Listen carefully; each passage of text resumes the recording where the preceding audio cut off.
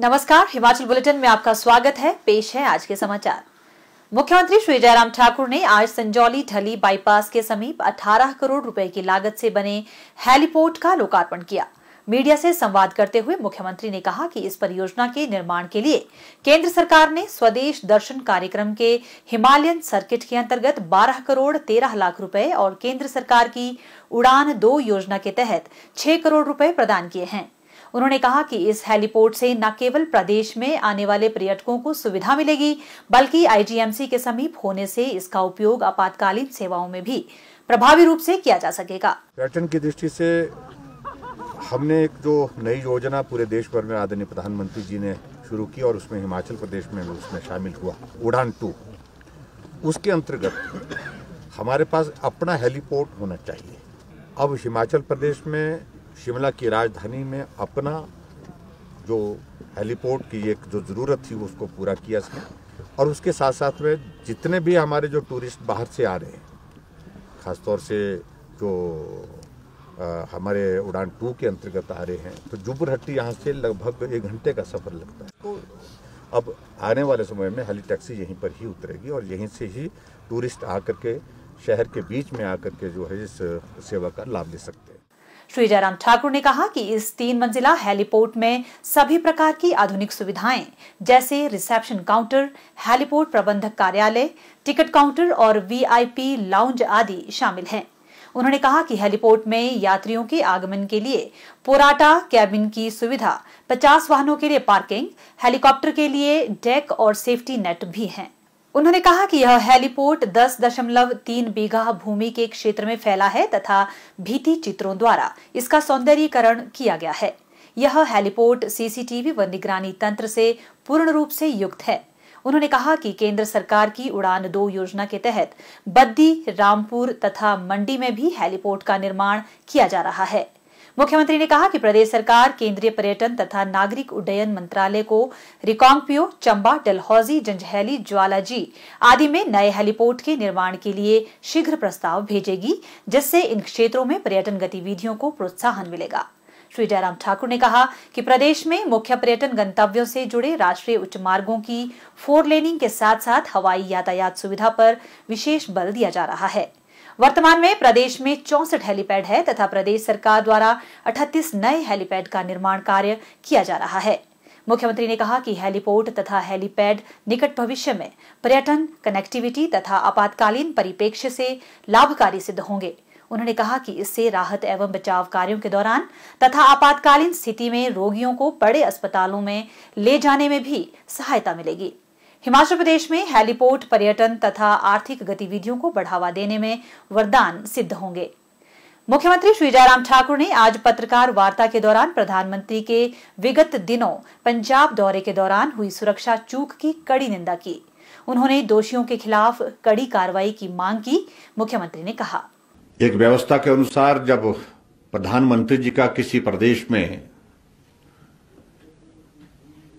आने का कार्यक्रम होता है और उनके कार्यक्रम की सारी रूपरेखा जो पीएमओ के माध्यम से कम्युनिकेट स्टेट को की जाती है, प्रदेश सरकार की ये जिम्मेवारी बनती है कि उस दौरान, सारी मूवमेंट के दौरान और कार्यक्रम स्थल पर और कार्यक्रम स्थल के पश्चात जब तक प्रधानमंत्री जी वापिस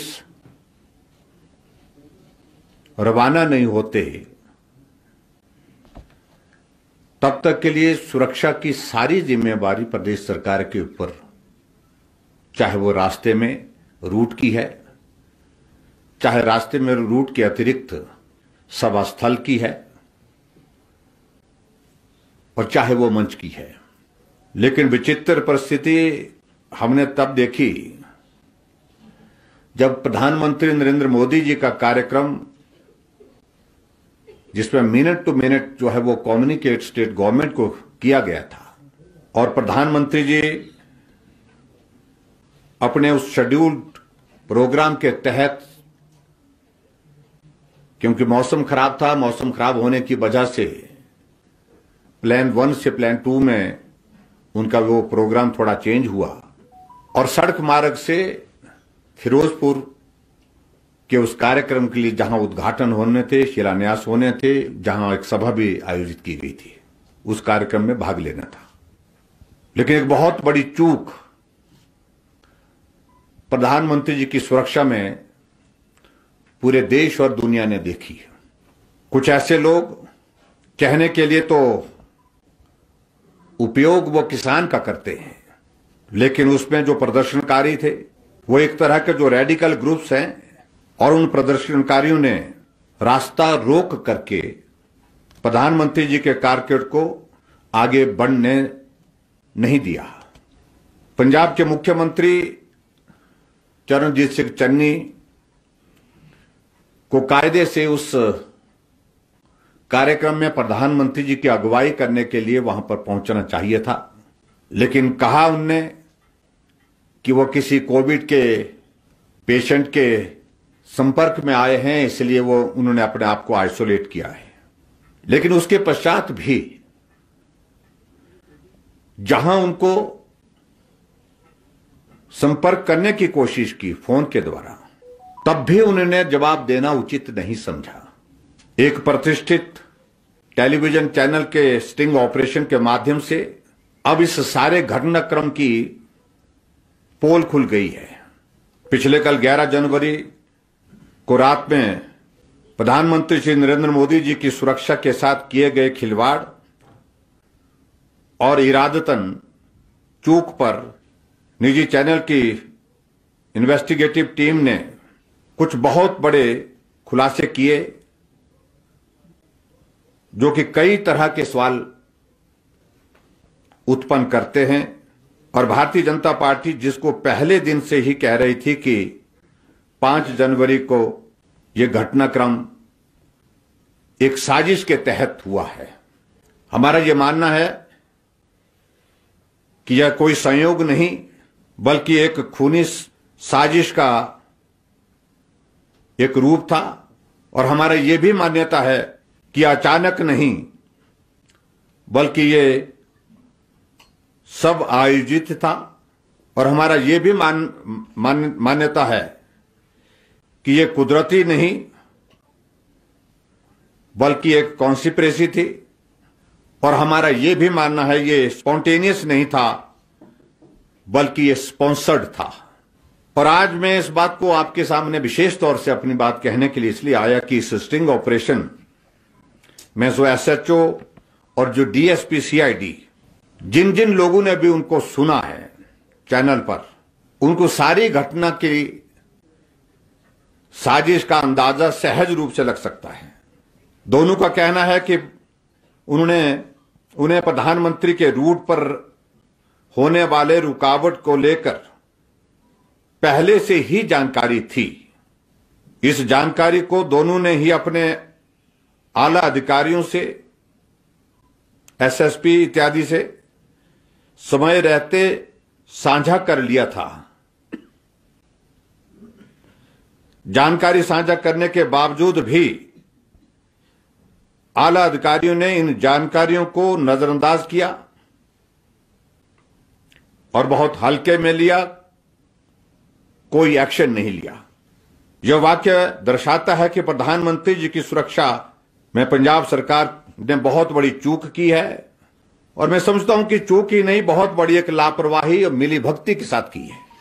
पंजाब पुलिस साफ़ बता रही है कि उन्हें ऊपर से, यानी कि पंजाब सरकार से कुछ भी नहीं करने के निर्देश थे। रास्ता चाहे रोक दिया जाए,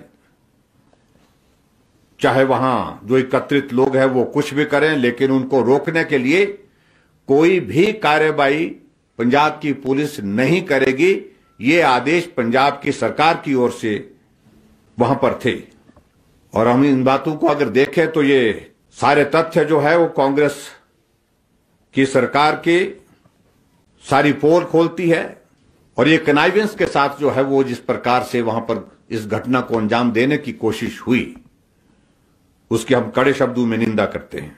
मित्रों, नरेंद्र मोदी जी हमारे देश के प्रधानमंत्री हैं। लेकिन इसके साथ साथ में इस बात को भी हमको समझना होगा कि प्रधानमंत्री के साथ साथ में नरेंद्र मोदी जी आज विश्व के सबसे लोकप्रिय नेता हैं और विश्व के सबसे मज़बूत नेता हैं।